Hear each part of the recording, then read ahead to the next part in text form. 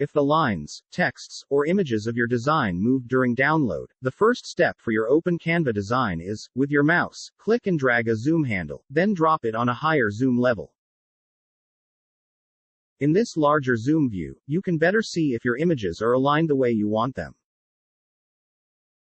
If that isn't precise enough, another way to check if images are aligned is to select and drag a guideline from the ruler.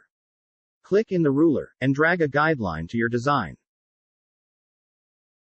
Click Vertical Guide at Position, and see if the position number matches the position number of the matching dot of the image, and they are both where you want them to be aligned. A third thing to check is the position of the design or image. With the image or design selected, click Position. Here you can see or adjust your settings for the images or design's position. You can also see if the images are grouped or not. Press the Control button, and click on one of the images in your design.